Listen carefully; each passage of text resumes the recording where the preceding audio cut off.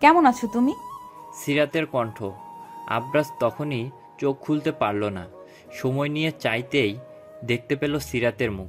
মেয়েটা কেমন যেন রুগ্ন, চোখের নিচে কালি, যেন ঘুমোয়নি কিছুদিন। আব্রাস কথা বলার চেষ্টা করল, কিন্তু অনুভব করল মুখ দিয়ে একটা কথাও আসছে না। কথা না বলতে পেরে নিজেকে পাগল পাগল অনুভব হয়। হাত দিয়ে ইশারা করে একটা যন্ত্রণার স্রোত নামে। ছেলেটা ব্যাকুল হয় সিরাত আগলে ধরে পিঠে হাত বুলায়।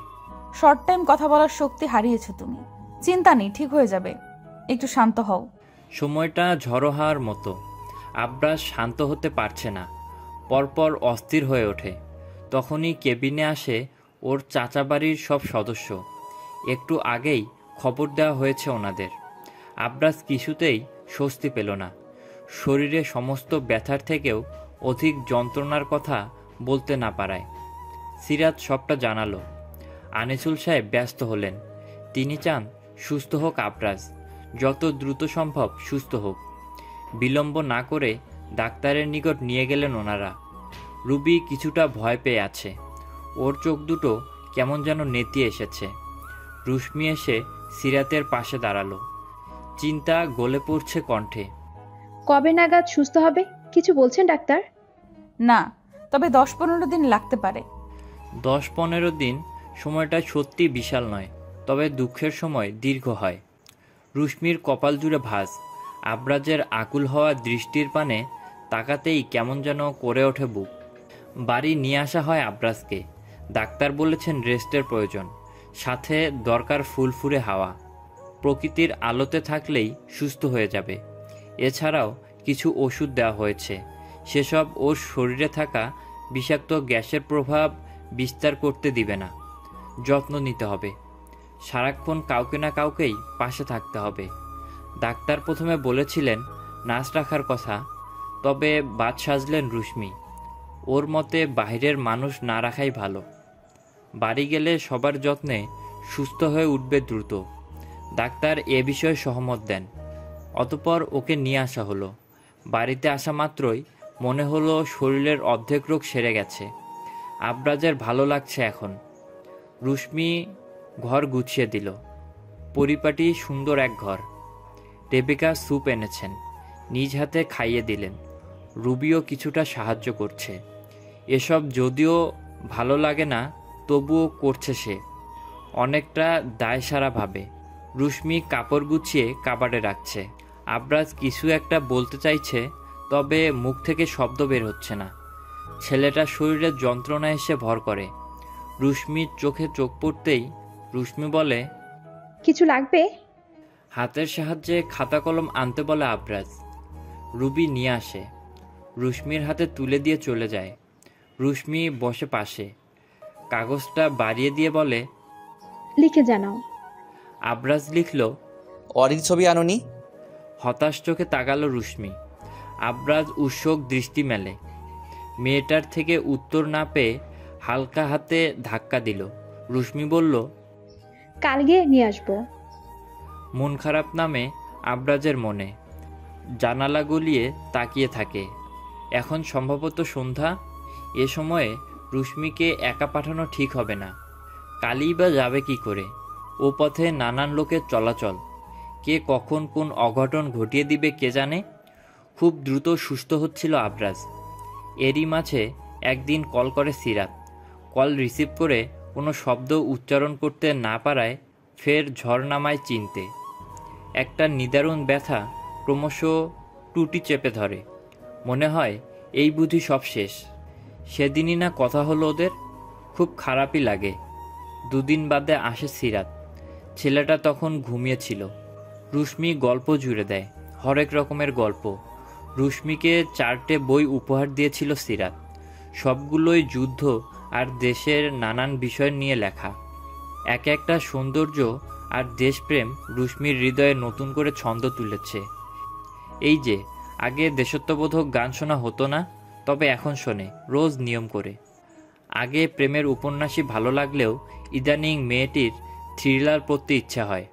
গোয়েন্দা সিরিজগুলো ভালো লাগে, তবে কোন বই কিনবে ঠিক করতে পারে না। সিরাত লিস্ট করে দেয়।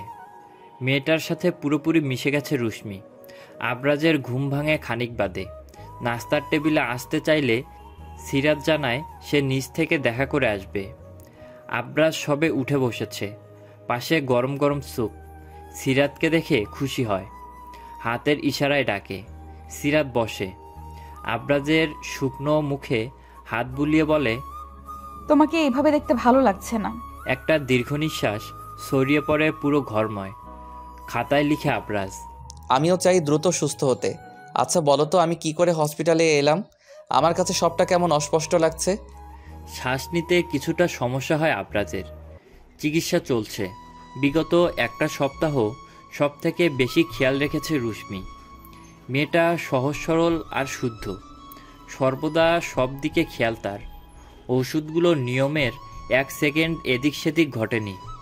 ডাক্তার বলেছেন, দ্রুতই সুস্থ হয়ে পড়বে। বিশেষ গ্যাস সম্পর্কে ইতিমধ্যে আলোড়ন চলছে। চারপাশে খবরটা যেন ঝড়ের গতিয়ে ছড়িয়ে গেছে। অফিসার আবুলের আসার কথা। ভদ্রলোক আসবেন বিধায় নাস্তার আয়োজন করা হচ্ছে। হরেক রকমের স্ন্যাক্স। ভদ্রলোক এলেন একটু লেট করে। সন্ধ্যা পেরিয়ে মোটামুটি রাত সাড়ে আটটা বেজে গেছে।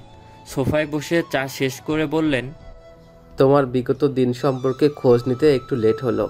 এখন বলো কেমন আছো? আল্লাহর রহমতে ভালো আছি স্যার। ভালো তো থাকতেই হবে আবরাজ।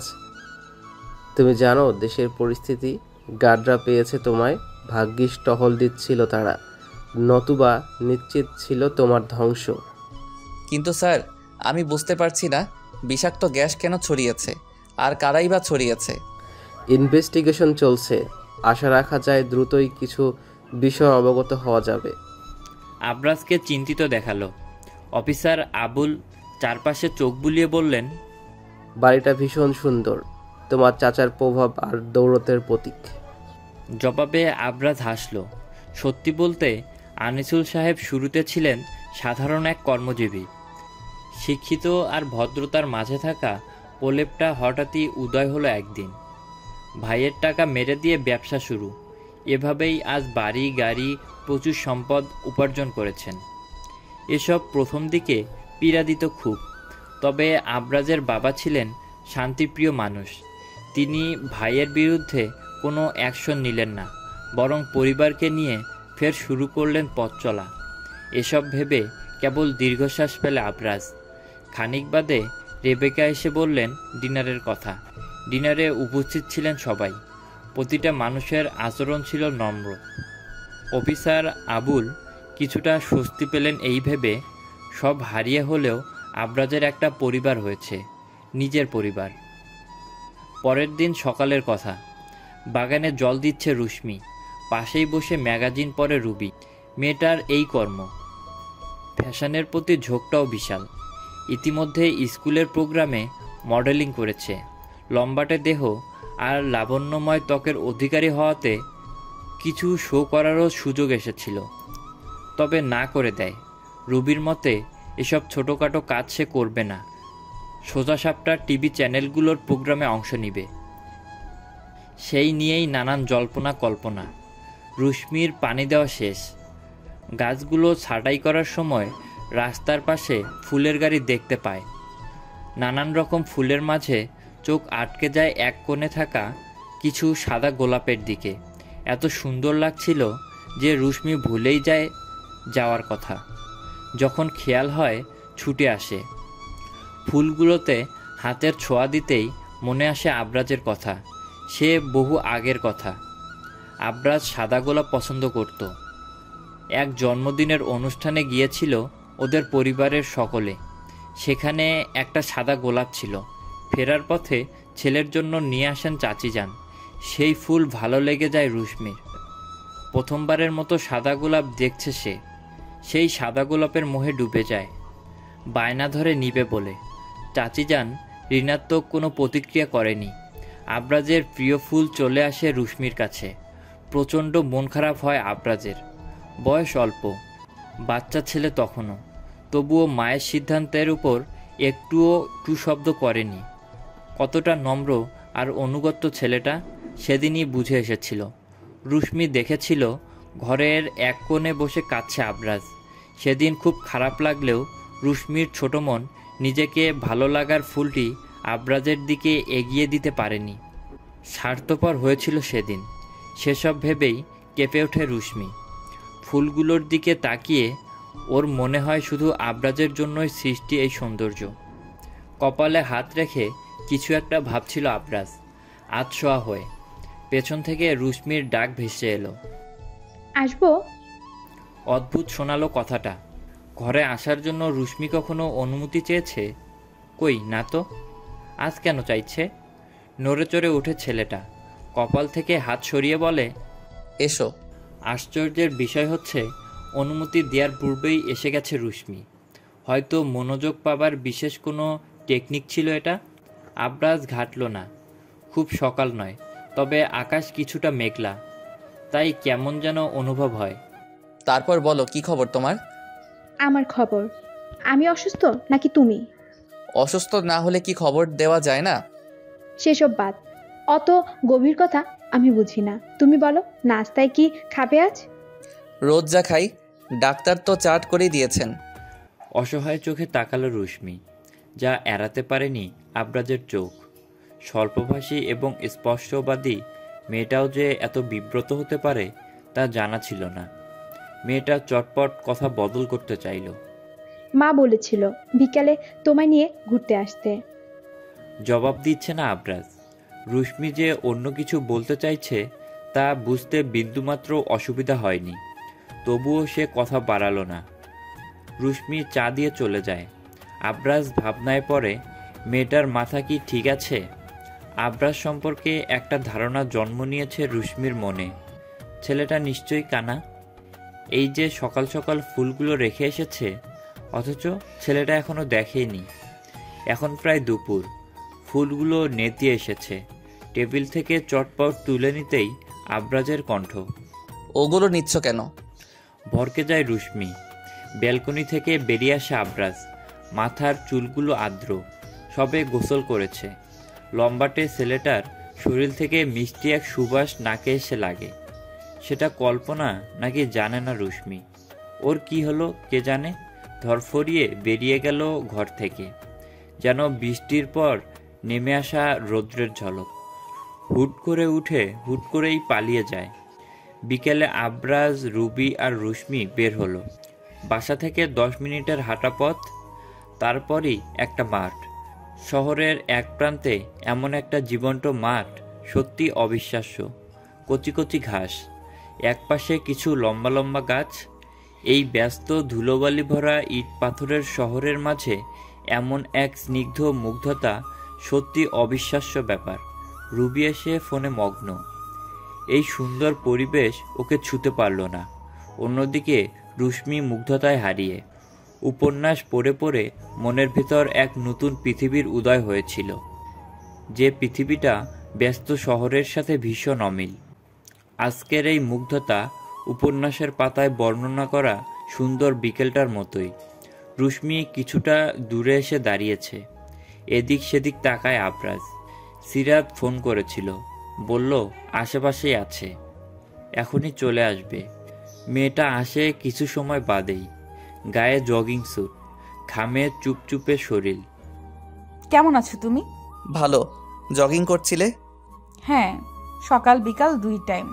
না হলে শরীরে জ্যাম ধরে। এত প্রেশার নিও না। হিতে বিপরীত না হয়। কিছু হবে না তোমায় বলেছিলাম নিয়মিত হাঁটতে। অথচ তুমি ঘরের কোণে বসে থাকলে। ঘর কোনো হলে কিন্তু সুস্থতা আসবে না। এই যে আজ কত সুন্দর আর স্নিগ্ধ লাগছে। কথার মাঝেই ছেলেটার নিকটে এসে গেছে সিরাত।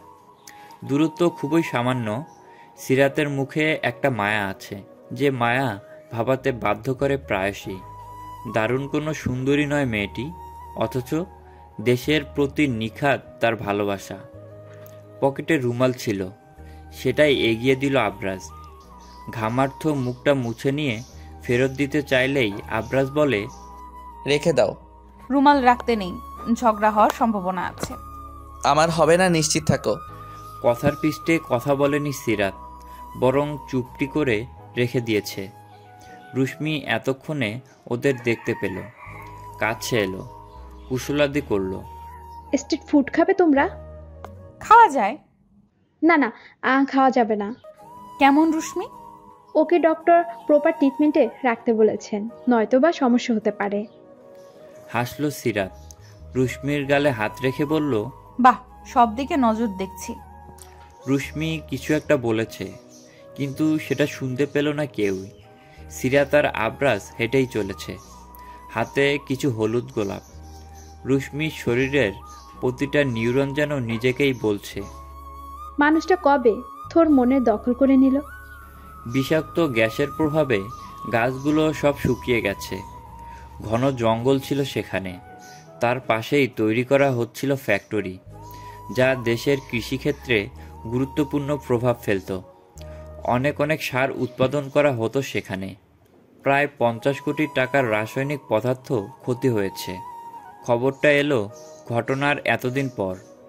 এমন এক গ্যাস ছড়িয়ে দেওয়া হয়েছিল, যার ফলে একটু একটু করে ক্ষতিগ্রস্ত হবে। শুরুতেই এ বিষয়ে অবগত ছিল না কেউই। ল্যাবে পরীক্ষার পর বিষয়টি জানানো হয়েছে। মিডিয়ায় এসব নিয়ে চর্চা চলছে। প্রতিটা চ্যানেল ব্যস্ত নিউজটা জানাতে। খবর দেখছিলেন আনিসুল সাহেব। তিনি বিশেষ কিছু জানতেন না। আবরাজ কাজ শেষে ফেরার পথে অসুস্থ হয়ে পড়েছিল। এইটুকুই জানতেন। কীভাবে কি হলো, কোথায় হয়েছে এসব কাউকেই জানানো হয়নি। অনেকটা গোপনেই কাজ শেষ করেছে পুলিশ প্রশাসন। ভদ্রলোক ঘেমে ঘেমে একাকার। স্ত্রীকে ডাকলেন রেবেকা রেবেকা কোথায় তুমি? স্বামীর ডাকে এক প্রকার ছুটে এলেন ভদ্রমহিলা। বিচরিত আনিসুল সাহেবের মুখ দেখে বললেন কি হয়েছে তোমার? শরীর খারাপ লাগছে? ডাক্তার ডাকবো? আবরাজ কোথায়? ওকে নিয়ে বেরিয়েছে রুমি। রুবি? এখনই ফোন করে আসতে বলো। কেন? আহ কথা বলিও না তো এখনই বলো আসতে। স্বামীর মুখের ভঙ্গিমা দেখে ফের প্রশ্ন করার সাহস হলো না ওনার। রুশ্মিকে ফোন করা হলো। রুশ্মি জানায় ওরা এসেই গেছে। মিনিট খানেকের মাঝেই চলে এলো ওরা। রুশ্মিরা ঘরে প্রবেশের পূর্বেই আনিসুল সাহেব উঠে এলেন। কি হয়েছে বাবা? রুশ্মির প্রশ্নকে অবজ্ঞা করে আবরাজকে উদ্দেশ্য করে তিনি বললেন কথা আছে তোমার সাথে। মৌন রইল আবরাজ ভেতরে এসে বসল। রেবেকা বেগম চুলা নিভিয়ে সবাই যোগ দিলেন। চোখে মুখে হাজারো চিন্তা। তোমার অসুস্থ হওয়ার কারণ কি ছিল আবরাজ? বিশেষ কিছু নয় চাচা। মিথ্যে বলবে না দয়া করে। ওটা কেবল অ্যাক্সিডেন্ট। বিষাক্ত গ্যাসের প্রভাবে তোমার শরীর অসুস্থ হয়েছিল তাই না? আনিসুল সাহেবের চোখ মুখ শক্ত হয়ে এলো। ঘরে থাকা প্রতিটা মানুষের ভ্রু বেঁকে গেছে।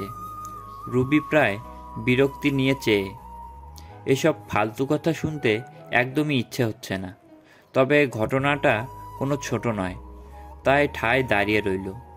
বাবা আমি বুঝতে পারছি না কি বললে তুমি? পুলিশ তোমার জঙ্গলের রাস্তা পেয়েছে তাই না? মাথা নাড়ালো আবরাজ। আনিসুল সাহেব হতাশ হলেন। আবরাজের নিকটবর্তী হয়ে দু চোখ বন্ধ করে বললেন তোর বাবার সাথে আমি অন্যায় করছি, তাই হয়তো তোর প্রতি খারাপ লাগাটা বেশি। তুই আমার রক্ত, তোর জন্য সত্যি মায়া হয় আমার যাতা হতে পারতো। তুই কেন জানি না আমাদের? খুব সামান্য বলে চালিয়ে দিলি সবটা? আরও বেটার ট্রিটমেন্টের প্রয়োজন ছিল। সত্যি, আমি তোর নামমাত্র চাচা। স্পষ্ট কণ্ঠটা ক্রমশই ভেঙে আসছে। ভীষণ খারাপ লাগছে আবরাজের। মূলত সকল ঝামেলা থেকে দূরে থাকতে চায় ও। তাই অফিসার আবুলকে রিকোয়েস্ট করেছিল পুলিশ কিংবা প্রশাসন কিংবা নিজের লোক ছাড়া কাউকেই যেন এসব না জানানো হয়। দুদিন পরের ঘটনা। একটা অনাকাঙ্ক্ষিত খবরে বদলে গেল পরিবেশ। ক্লাস নাইনে পড়ুয়া রুবি পালিয়ে গেছে। তাও নিজের ক্লাসমেটের সাথে। বিষয়টা খুব দ্রুত ছড়িয়ে গেল স্কুলে। রেবেকা বেগম ফোনের এপাশ থেকে চেঁচামেচি করছেন।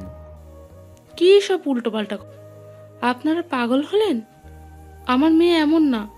পালাবে কেন শুধু শুধু? আমরা যথেষ্ট স্বাধীনতা দিয়েছি ওকে। কাউকে পছন্দ হলে বললেই হতো। তাছাড়া কি এমন বয়স ওর? ওপাশ থেকে তেমন কিছু জবাব এলো না। সিসিটিভি ফুটেজ তেমনটাই বলছে। ঘটনাটা স্কুলের উপভোগের বিষয় হিসেবে চলতে লাগল। রেবেকা বেগম স্বামীকে খবর দিলেন। আনিসুল সাহেব কাজের জন্য অন্য জেলায়। তিনি খোঁজ নিতে বললেন আবরাজ ট্রে রেসে ছিল, ঘটনাক্রমে চলে এসেছে। রেবেকা বেগম কুল কিনারা পাচ্ছেন না, সমানে কেঁদে যাচ্ছেন।